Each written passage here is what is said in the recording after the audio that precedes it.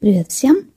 Восемь месяцев назад мы переехали из Латвии в Болгарию на постоянное проживание. А почему в Турции не остались? Вот решила подробно вам рассказать. Благодаря вашей же активности вы сейчас смотрите это видео. В один прекрасный зимний день 22 года была метель с утра, и мне было лень очень чистить машину. Я пошла, психанула и пошла с ребенком на больничный, не поехала на работу.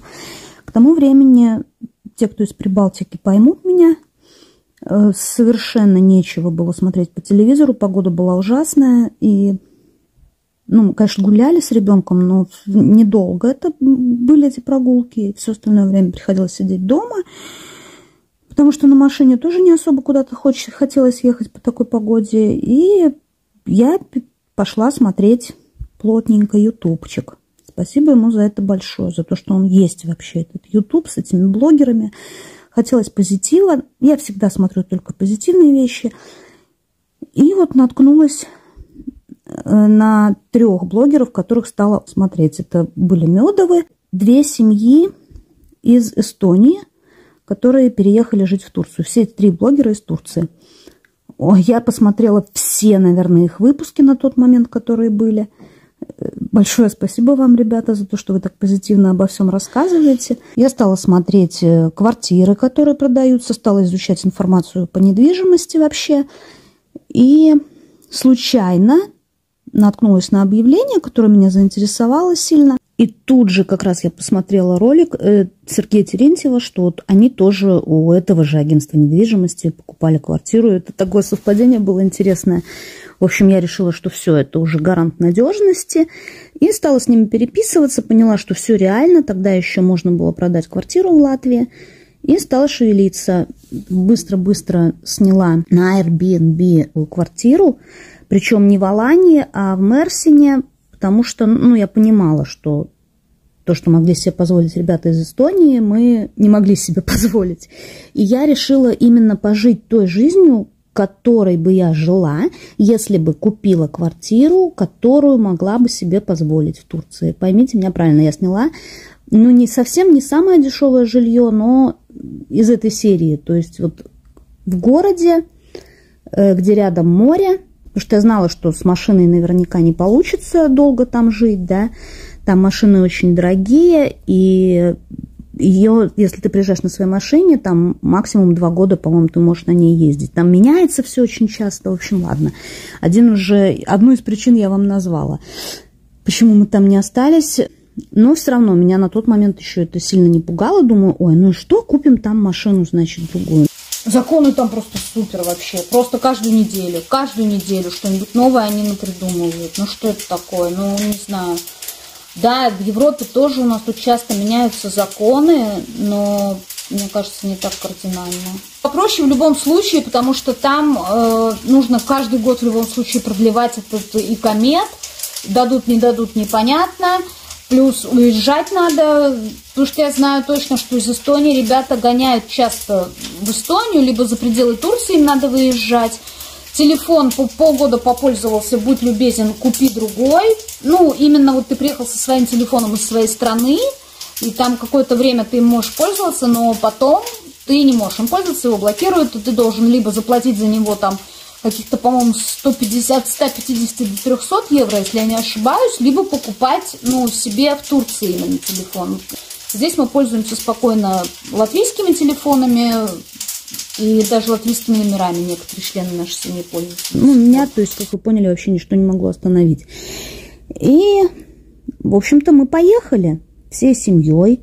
Поехали именно на машине, потому что ну, мы ехали на 12 дней, потому что я понимала, что квартиру выбрать не так легко и не так быстро это все. И кучу вещей надо было с собой брать, поэтому мы не полетели самолетом, а поехали на машине. Это очень важный момент. Была ну, довольно тяжелая дорога, об этом обо всем тоже я рассказываю в самом начале своего блога, в самые-самые первые видео. В общем, э, когда мы приехали, было первое разочарование, что те фотографии, которые... Вот она тоже, вот она Турция. Те фотографии, которые были на Airbnb размещены, они никоим образом не соответствовали той квартире, которую нам показали. Вообще первая квартира, которую нам показали, это была жесть. Я сказала, что с детьми я тут ну, не буду оставаться. И он тогда стал... Этот весь дом, который вот вы видите на фотографии, он принадлежит весь этому человеку. И он тогда нам стал показывать другие квартиры, и с каждым его показом квартира становилась лучше и лучше. В общем, я его дожала, взяли мы более-менее сносную квартиру все-таки у него, остались в ней. Он, был, он очень хорошо к нам относился. Вот этого у турков не отнять. Они очень сильно умеют э, расположить к себе человека именно своим поведением. И он там такой прям все наши пожелания выполнял, все, чего нам не хватало, он приносил. И ну, в общем-то, мы были довольны, в общем и целом. А, позвонила я в это агентство еще раз, она, да, да, да, давайте увидимся. И тут она, когда поняла, что мы э, уже приехали, что мы уже здесь, уже в Турции, она резко стала меня продавливать на сумму, которая превышала мой бюджет, по-моему, на 17 тысяч. Она вот стала так, ой, так все подорожало. То есть я буквально с ней разговаривала два дня назад – ничего не подорожало. Тут вдруг за два дня вот так вот резко. Напоминаю, это был март 22 года. Я не поддалась, так сказать, на ее эти цифры и сказала, что ну покажите то, что есть у вас все-таки на наш бюджет. Потому что я понимала, что нам нужны будут деньги на оформление документов, и на, на обустройство там и так далее. Она сказала, хорошо, я вам позвоню. В общем, э, нам за 12 дней она не позвонила. Не то чтобы я сильно ждала, первые два дня, конечно, я сильно ждала, даже ей писала, что да, мы хотим тут остаться и все. Но я так поняла, что не было у нее интереса к нам, поскольку мы не согласились увеличить бюджет предполагаемый. И все. Может быть, у нее в этот момент были какие-то более, скорее всего, так и было, более важные клиенты, у которых все получалось по деньгам. Я человек самостоятельный, я стала там знакомиться, опять же, в этой Турции с людьми, спрашивать, что да как, мы гуляли, нам очень все нравилось. Турция вообще совершенно потрясающая страна, именно вот э, на первый взгляд. То есть, когда ты въезжаешь туда на машине через эти огромные горы, через эти красивые широкие дороги, качественные, это все настолько захватывает. Настолько вот ты видишь город издалека, он очень красивый, причем в любое время суток. Даже, наверное, ночью, когда ты подъезжаешь к городу, ну это вообще красота неописуемая. Вот все, что вы видите на экране во время этого рассказа, это все вот мы снимали сами во время нашего приезда в Турцию. Вот, и я такая, ой, как здесь здорово, и там мы поселились в Енишехире, это район Мерсина, мне он понравился тем, что там все есть абсолютно для жизни, я имею в виду школы, поликлиники и так далее. И в этом районе абсолютно шикарная набережная. Она длинная, она огромная. И даже есть парочка пляжей. Пляжи не очень, правда, но это... Ладно, в общем, была очень классная, крутая набережная. Плюс, ну, сам вот район такой довольно-таки симпатичный. Вот. Эм, много гуляли. На набережную мы вообще, по-моему, каждый день ходили, мне кажется. И потом уже я поняла, что ну, мне она надоест в итоге, потому что больше ходить особо некуда. Там лунопарк был, мы катались, там детям очень нравилось в Турции, очень классно всем было. Ну, знаете, такая страна-праздник. Вот абсолютно приезжаешь и вот прям наслаждаешься всем. И люди, конечно, улыбаются. Конечно, я очень быстро почувствовала, что улыбки такие, они всем адресованы, они такие общие. Ну, вот мы такие вот улыбчивые, все. Вот, вот все, что означают их улыбки. Мне показалось, что улыбку человека, который родился и вырос в Болгарии, нужно заслужить. Ну, будет просто так тебе вот улыбаться. Но если он улыбается, то улыбка настолько настоящая, настолько теплая. В глазах можно прочитать даже причину этой улыбки. Либо он тебя этой улыбкой хочет подбодрить, либо успокоить, либо просто сказать, да все будет хорошо. Это стоит дорогого. Честно, то, что со мной происходит здесь, в Болгарии, ну, я очень этому рада, и я вижу даже в себе изменения. У меня изменились жизненные ценности.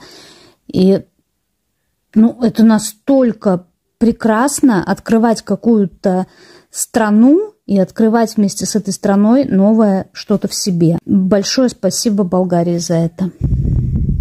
Вернемся к рассуждениям о Турции. Еще одно разочарование ждало нас э, в том, что в магазинах, э, которые вот там в Енишехире расположены. Хочу сказать, Мерсин это не, не считался на тот момент туристический город, и там не должны были быть высокие цены, но тем не менее мы не, не видели, чтобы по продуктам сильно все дешевле выходило. И на базарах тоже там не были дешевые фрукты, овощи. Как-то, я не знаю, с чем это связано, но ничего там такого мега дешевого, как рассказывали в видео ребята, ну, мы не видели лично.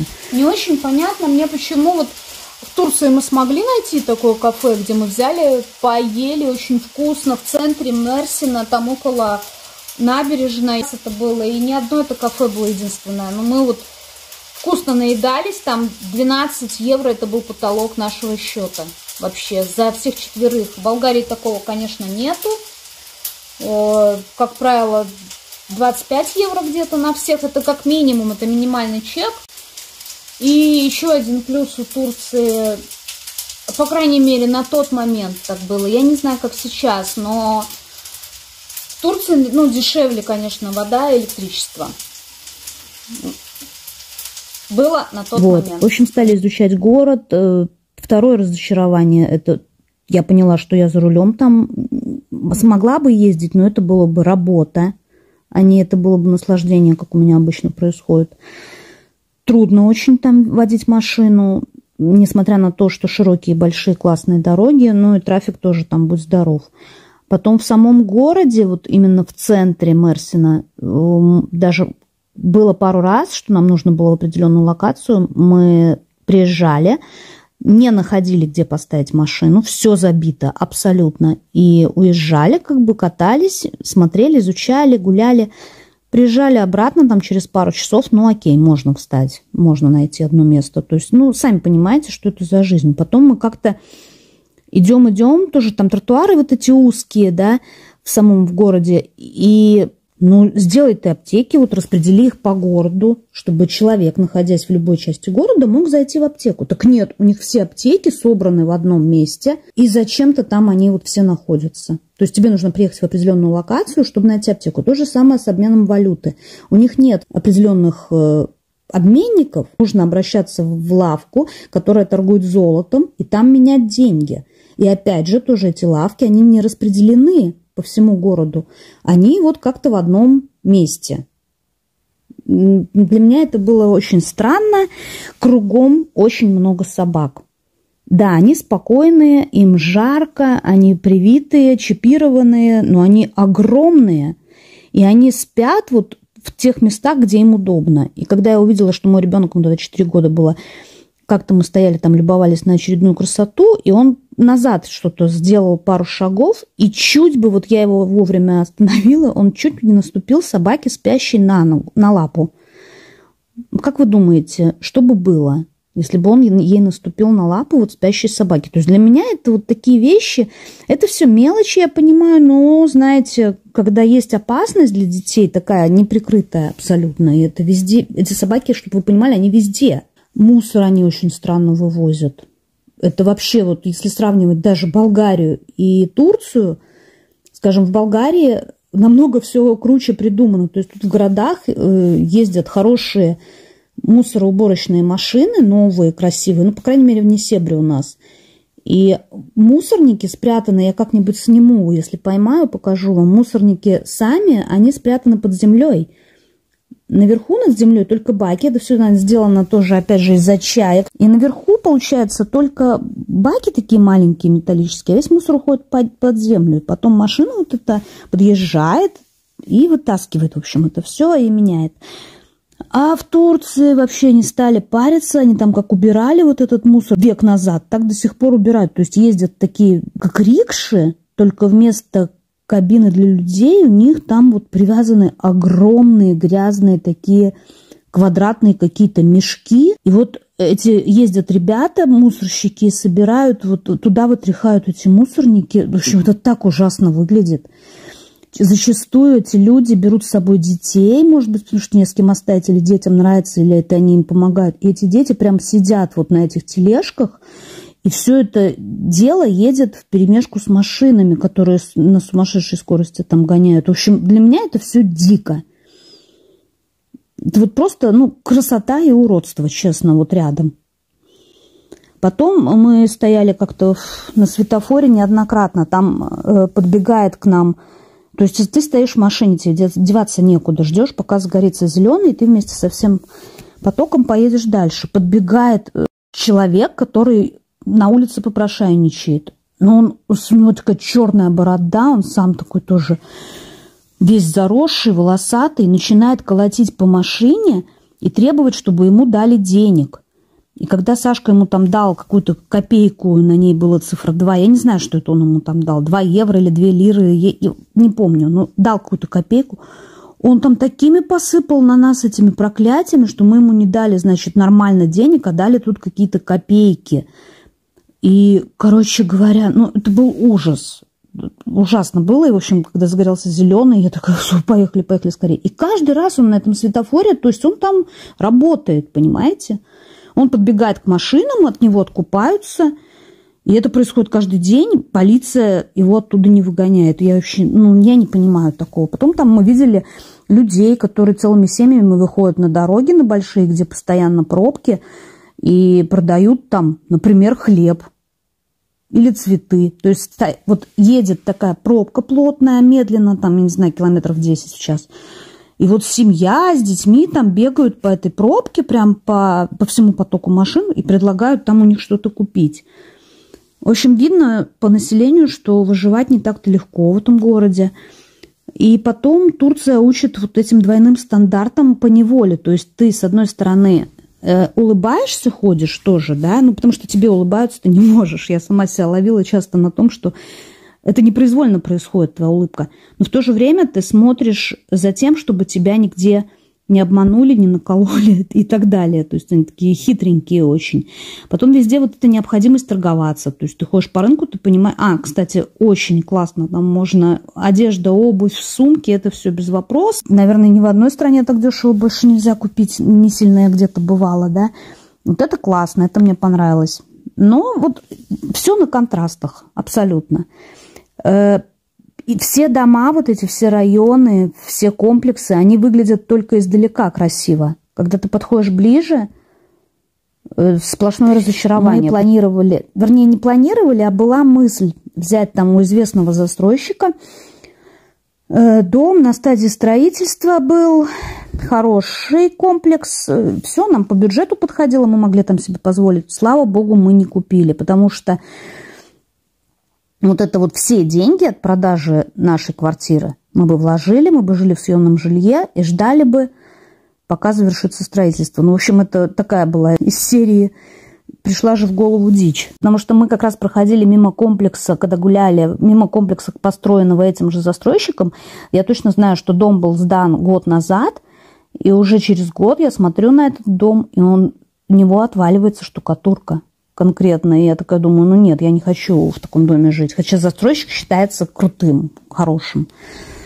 И вот такого там много. То есть издалека восхищаешься, подходишь ближе, разочаровываешься. Вот это была главная такая идея, которая меня преследовала все наше путешествие по Турции.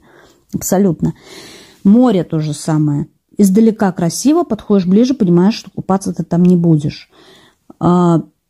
Как-то мы приехали, а, было жарко, уже апрель наступил к тому времени, мы приехали на море очередной раз, гуляли-гуляли, я говорю, я, наверное, искупаюсь, у нас были купальники с собой, я смотрю, народ вот сидит на море, ну, в небольших количествах, но не купается никто, я не понимаю, в чем дело. И нам показывают, там, смотрите, смотрите, значит, мы подходим ближе, там медузы огромные. Море Средиземное, медузы очень-очень большие, их откуда-то прибило штормом с Красного моря, что ли, я не понимаю, в общем, как это может так быть, но, в общем, кто-то нам рассказал, что из-за миграции медуз вот такая ситуация, что нельзя купаться. И эти медузы, они ядовитые. Здесь, в Болгарии, тоже были медузы, но они не ядовитые. В Черном море, типа, они нормальные. Тут купались мы все с медузами в перемешку. Ну, конечно, я их обходила на всякий случай. Море, кстати, в Болгарии намного чище. Мы приехали в порт. Ну, просто мы приехали погулять туда, где еще не были. Ну вот, с одной стороны, вот такое великолепие, с другой стороны, вот такая жесть. Смотрите, ужас. просто жесть. Здесь прямо рыбу продают какую-то, но как-то ее даже есть не хочется. Ну, вообще в Мерсине экология под большим вопросом, я считаю, потому что э, машина покрывалась за несколько часов э, какой-то пылью в перемешку с песком полностью вся. Э, и это очень мелкие такие частицы. Ну, понятно, что это в воздухе тоже летает. И вдаль смотришь в любую сторону абсолютно. Везде какой-то то ли туман, то ли дымка, то ли смог, вот что-то такое непонятное.